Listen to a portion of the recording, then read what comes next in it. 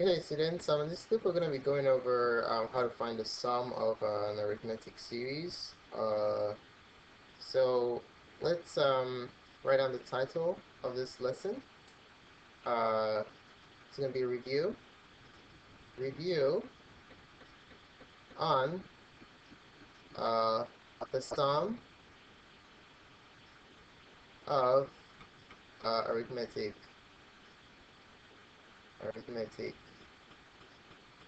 um, sequences. Okay? The sum of arithmetic sequences are known as series. Alright? So uh, let's recap the formula real quick. The formula for the sum of an arithmetic sequence. Um, if you're adding up n terms, uh, the sum of n terms, the sum of n terms n terms, let me rewrite my uh, terms, the sum of n terms of an arithmetic arithmetic series is given by s sub n, which is denotes the sum, is equal to n over 2 times a1, the first term, plus the last term, an. Okay? Alright, so let's take a look at the following example. Um, example 1.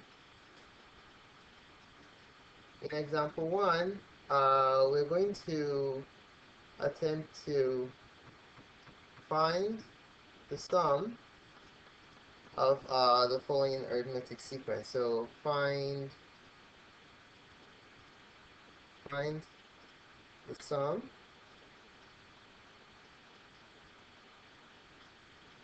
of the arithmetic of the series.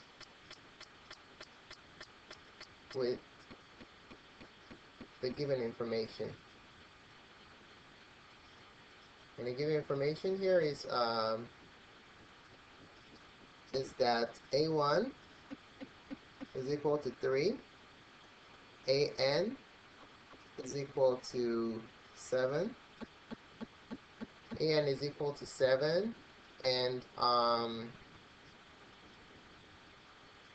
an is equal to 7 and n equals 4. Okay?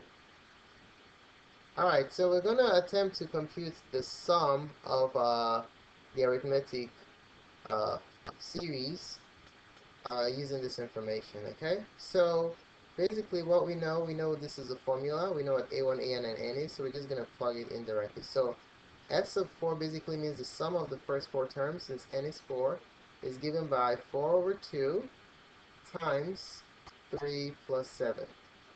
Okay? 4 over 2 is 2. 2 times 3 plus 7 is 2 times 10. And then the answer is 20. Alright? So that's how you compute the sum of an arithmetic uh, series. Alright, example 2. Uh, same thing, we're going to try and find the sum, but the information we have in this uh, problem is that uh, we have A1 equals 4, N equals 5, and D equals 3. Okay? So we want to compute the sum. So we know that the sum formula S sub n is equal to n over 2 times a1 plus an. Alright, we're looking for the sum here. We know a1 and we know n, but we're missing a sub n. So we don't have enough information to use this formula. So in order to, to find what a sub n is, we need to resort to the other arithmetic sequence formula that we know, which is that an equals a1 plus n minus 1d. So this information can help us find what uh, an is. Alright, so let's plug in this detail and then find an and then you can use this formula. Alright, so an is what we're looking for. a1 is 4 plus n minus 1, 5 minus 1 times the common difference of 3. an equals 4 plus 5 minus 1 is 4 times 3. Okay, and an equals 4 plus 12